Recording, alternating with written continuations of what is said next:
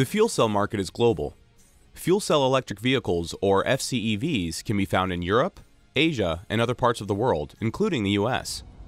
The passenger vehicle market was initially launched in California and is expanding across the country along with other vehicle applications. There are many types of FCEVs, including passenger vehicles, trucks of all sizes, buses, forklifts, airport tugs, and even larger modes of transportation like rail and marine. There are also stationary applications of fuel cells for primary and backup power generation.